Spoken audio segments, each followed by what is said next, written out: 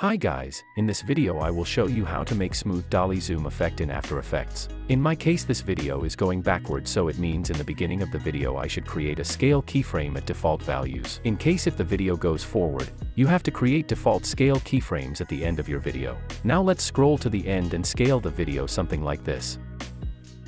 Let's play back the video now and check it. Dolly Zoom is ready but, it's a bit shaky in my case, let's fix it quickly by stabilizing the video. Delete scale keyframes and make sure scale is set to 100%. Then go to tracker and click on stabilize motion. I will lock my stabilization on a wheel, make a track point a bit bigger.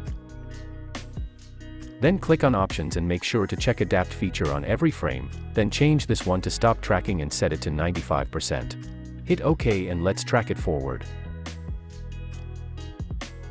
Once analyzing is done, click on Edit and hit OK. Click on Apply and hit OK.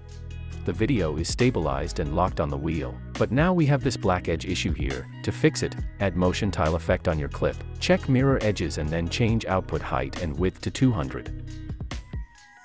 Now scroll to the beginning and pre-compose your clip. Make sure Move All Attributes is selected and then rename it to whatever you want and hit OK. Everything looks fine to me. Press S on your keyboard and click on Scale stopwatch icon. Then scroll to the end and scale your video.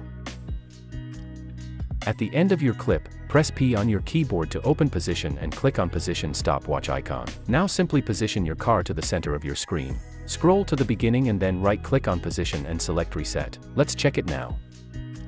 That looks better. Hope this video was helpful. Thanks for watching and like the video please.